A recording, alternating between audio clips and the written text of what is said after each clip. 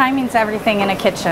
It's so convenient to just take that box, take that mix, add that water, whisk it up, and you're ready to go. If we go through them quicker than we expect sometimes, it's quick and easy to whip up. And I don't think you could make them from scratch any better.